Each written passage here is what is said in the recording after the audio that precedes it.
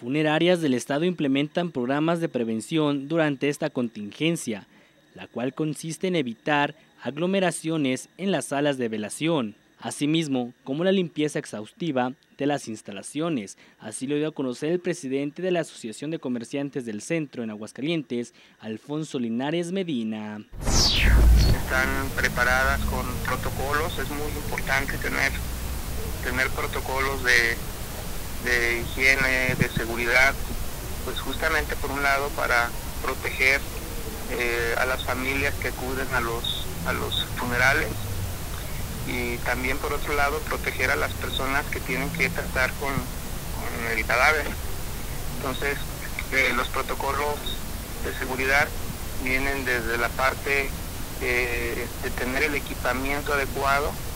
Linares Medina agregó que solamente se está permitiendo que dentro de cada sala permanezcan un aproximado de 30 personas, siempre y cuando respeten las recomendaciones de estar a un metro de distancia y el uso de cubrebocas. Todas las medidas sanitarias que se siguen dentro de, de las instalaciones, como lavar pisos eh, con soluciones de hipoclorito de sodio, eh, químicos eh, para poder matar bacterias y virus en el ambiente, en fin. Es decir, eh, se manejan también protocolos muy específicos pues, para poder dar servicios con, seguridad a la gente que solicita o que tiene la necesidad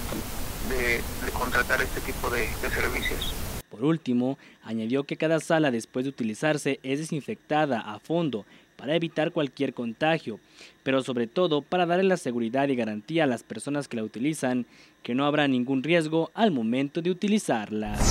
Hemos tenido nosotros una muy, buena eh, respuesta cuando se les explica el tema, el tema de, no tener, de, que no vaya suficiente